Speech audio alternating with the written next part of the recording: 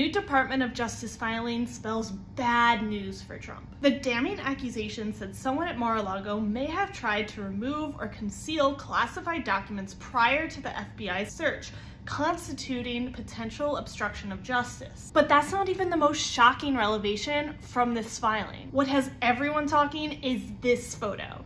It shows top secret SCI and secret SCI documents strewn out all over the carpet. They're documents that are normally found in highly secure facilities. The photo came out as a part of the DOJ's response to Trump's demands to have the documents reviewed by a special master. And its release may undercut enthusiasm among key supporters to defend the former president's actions.